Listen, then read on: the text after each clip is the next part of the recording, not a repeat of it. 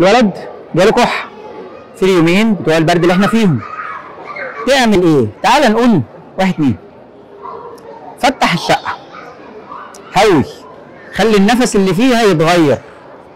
صحيه. غير الفرش. ادخل بقى على دورة المية اعمل له غسيل مناخير سواء كان بسرنجة بمية ولا محلول. خليه يستنشق. مية بحر. آه، بخاخ سبراي. أي حاجة موجودة معاك المهم إنها تغسل. ال nose. أوتريفين اللبني مش الأزرق. اللي هو بتاع ال baby saline لأي عمر بأي فترة بأي عدد مرات ومفيش منه تعود آه السبراي بتاع ال Free Nose ما عنديش منه مشكلة. شفاط الأنف وبحط فيه مية واستخدمه اتعلم من الأول وبعد كده اعمله. عشان خاطر لو حصل حاجة تعرف تتصرف. ألا وهي إحساس الطفل بالغرق فيبتدي يتخض فيشدد فالأب يخاف. وناخد بالنا إن مش الشغل من هنا لازم ينزل مخاط من هنا. ده ممكن ياخده وينزله من ورا فينزل من بقه. ممكن ما يستخدموش خالص وما يطلعلوش حاجة. طيب هتقلل الكحة هرفعها على مخدة ههوي الأوضة أغير الفرشة وأفوقه. وأسقي بقه مية. ده الكلام ده الأطفال لما أكبر شوية. وأدي حاجة دافية وأتابع الحرارة وأشوف طفلي حرارته كويسة ولا لأ. دافي فك الهدوم على قد نص كم حتى لو في الجو اللي موجود معانا ده ادي بره أو أو حتى بكم وقطن طبقة واحدة ما تقوليش ألبس خريفي عشان ما أحبسش الحرارة بتاعته. عايز تديله أي خافض ستال أو بروفن من فوق الست سنين آه، فوق الست شهور ما عنديش مشكلة. أي حاجة تانية لبوس والكلام ده خف منه دلوقتي. السوائل كلمة السر ممكن أدي محلول جفاف ما عنديش منه مشاكل. أدي مية أدي عصير أدي زبادي أدي أي حاجة لطفلي. ما عنديش منها مشكلة.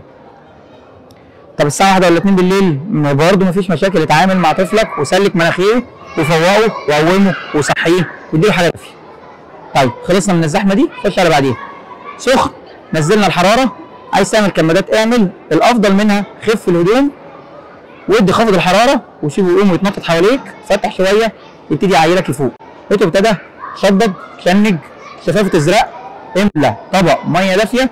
قعده وسيبها تبرد تدريجي فالحرارة هتاخده وتهدى معاه وأنت بتدي له خافض الحرارة وبتدي له مية كتيره وسوائل كتير فتهدى الحرارة معانا تدريجي.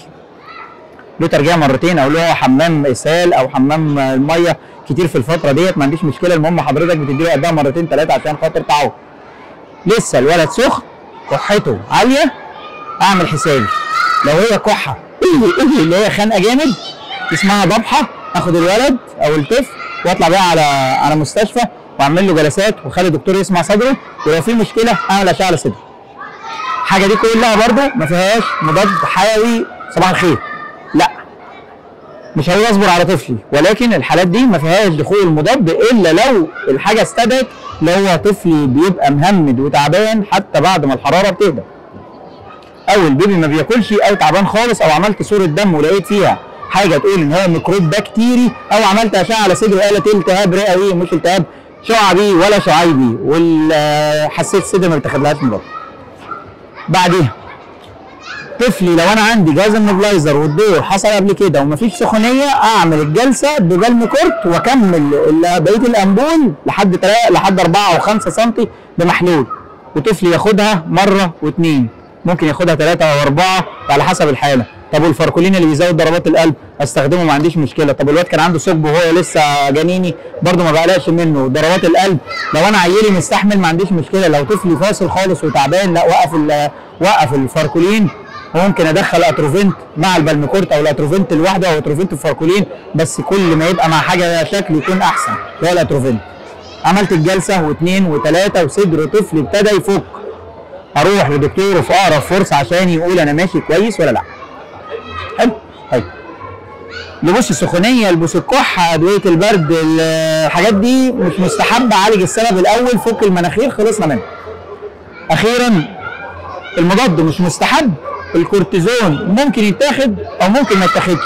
بخاخات الأنف اللي فيها كورتيزون ما فيهاش حاجة وحشه البلمكورت أساسا كورتيزون استنشاق فما فيش منه تعود الجلسات مش عيب ولا حرام ولا في منها تعود. و...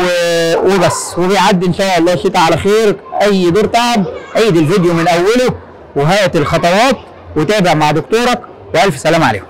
هنا صاحبي. خلي عينك.